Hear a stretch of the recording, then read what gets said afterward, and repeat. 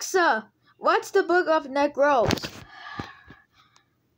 The Book of is a drama show starring Aunjanue Ellis Taylor, Lyriq Bent, and Ben Chaplin. I didn't know why Alexa censored the word.